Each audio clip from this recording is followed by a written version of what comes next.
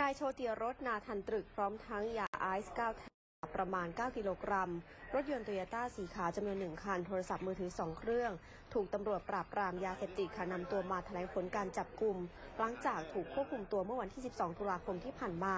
ที่บริเวณสามแยกทรัพย์ทวีถนนสีคิ้วคลองไผ่อำเภอสีคิ้ว จังหวัดนครราชสีมา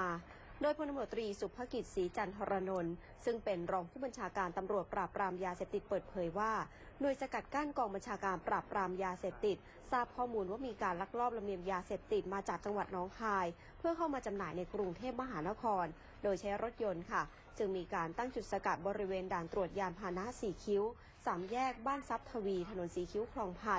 ก่อนที่จะไปพบรถต้องสงสัยแล้วก็ผู้ขับขี่ ซึ่งมีลักษณะตรงตามข้อมูลของการสืบสวน เมื่อเจ้าที่เข้าค้นนะคะ ก็ไปพบของกลางซุกซ่อนอยู่ใต้คอนโซลของรถค่ะ เมื่อเค้นสอบสวนก็ให้การรับสารภาพว่ารับยาไอซ์มาจากเพื่อนชาวลาว โดยให้ค่าจ้างเป็นเงินสด 50,000 บาท เพื่อนำไปส่งให้แก่เอเย่นรายหนึ่ง โดยที่รับจ้างขนยาเสพติดนั้นก็เนื่องจากว่ามีหนี้สินเป็นเงินกว่า 600,000 บาทเบื้องต้นเจ้าหน้าที่นะคะ ได้แจ้งข้อหามียาเสพติดประเภทหนึ่งไว้ในครอบครอง เพื่อจำหน่ายโดยไม่ได้รับอนุญาตค่ะ